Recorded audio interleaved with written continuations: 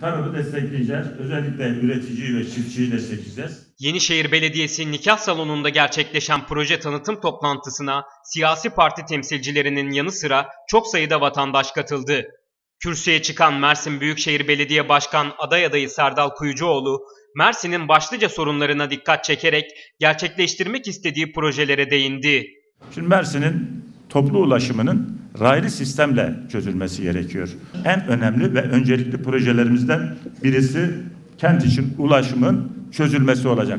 Tabii bunu sadece raylı sistem değil, tüm trafiği tekrar düzenleyeceğiz, sayımları yapacağız, yenileyeceğiz ve güncelledikten sonra da tüm kavşak düzenlemeleriyle beraber sistemi kuracağız.